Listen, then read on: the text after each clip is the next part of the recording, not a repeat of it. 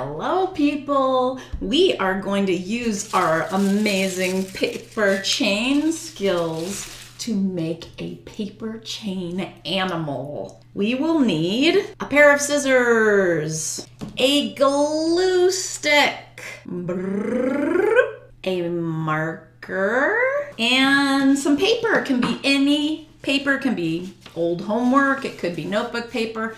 I actually just have some scrap painted papers that I'm going to use. The very first thing you're going to do is to draw straight lines from one side of your paper to the other. I'm going to draw my lines the long way so that my links of my paper chain animal are a little bit bigger. So this paper is really small, so it's just going to have two strips of paper. And I'm gonna stack it so that I don't have to recut twice. I'll draw a line right here. Now I'm gonna cut there and draw another line. This is a project where we don't need too many paper strips. So now it is time to cut slow and low that is the tempo.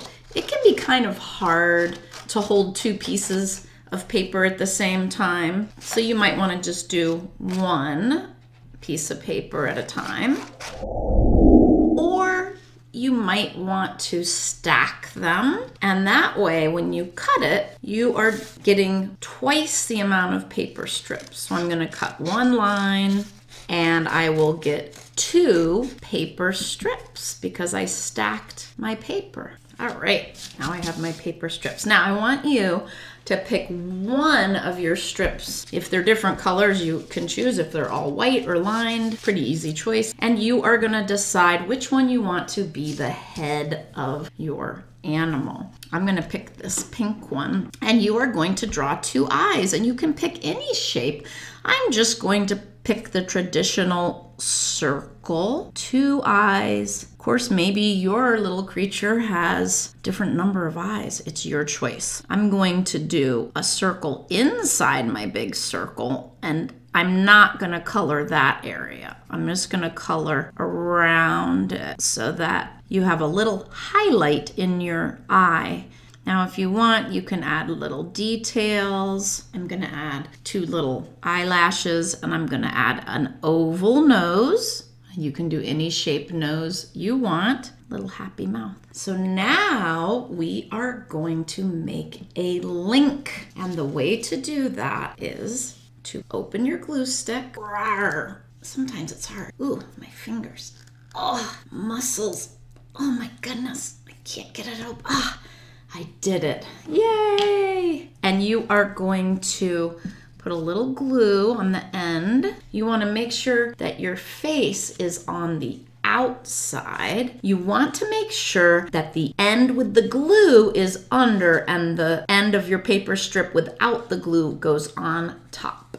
So we just press, press, press, press, press, press, and we have our first cute little link. Now we take the next paper strip we want and put it through. I want to make sure that because I have colored paper that the color is what we see. So when I make my loops, I have to be careful. I don't want to go like that because I want I don't want the color on the inside. So I have to make sure that it flips so that the color's on the outside and I press. Keep going until you've used all but one of your paper strips.